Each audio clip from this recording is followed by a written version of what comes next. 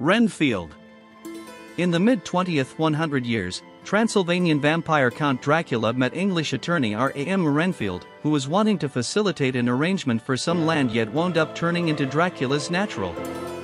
For quite a long time, Renfield has depended on heavenly abilities that are started by eating bugs. Dracula has as of late had a near calamity with some vampire trackers who nearly killed him, so the pair moved to New Orleans to recover.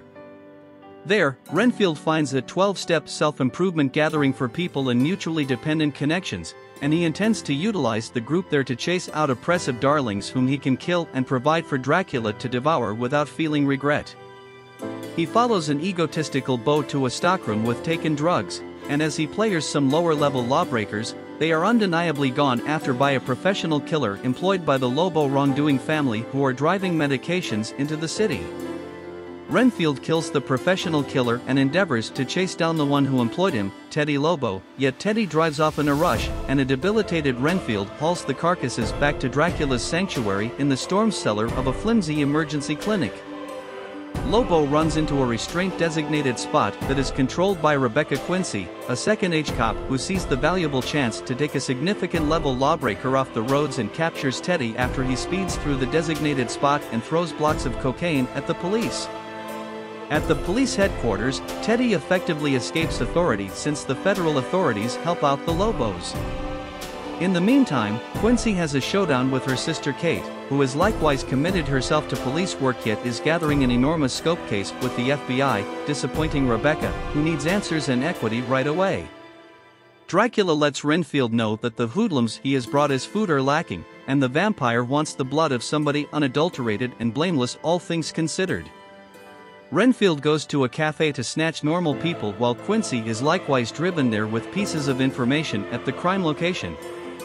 The two are trapped in an assault on Quincy's life that Teddy has been forced into making so the savage standing of the Lobos will be restored.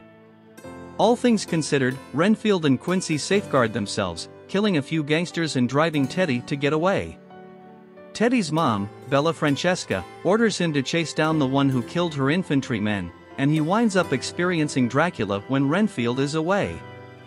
The two consent to shape a collusion while Renfield has acknowledged the lessons of his self improvement gathering and chooses to make a life for himself separated from his lord. Setting up a loft and changing his disposition to one of supportiveness, he gives an assertion to the police to assist them with attempting to stop the Lobo wrongdoing family at long last. Dracula learns of Renfield's treachery and butchers the care group individuals before his previous follower. Quincy shows up and finds Renfield encompassed by dead bodies, making her capture him until she is promptly amassed by cops and the Lobos, who additionally need vengeance on Renfield. Quincy will not hand him over, and she scarcely escapes with Renfield.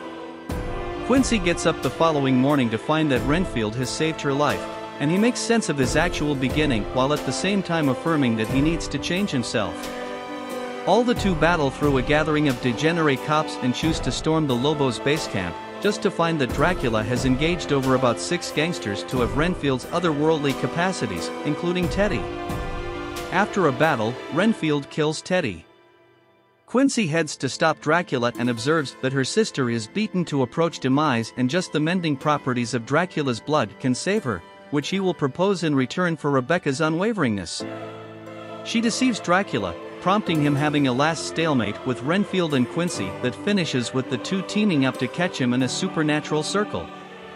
Renfield and Quincy beat Dracula into pieces, catch heaps of his mending blood, and split the pieces of his carcass into bits of substantial that they disperse across the water framework, either at last annihilating the vampire or if nothing else making it extremely difficult for him to change his body.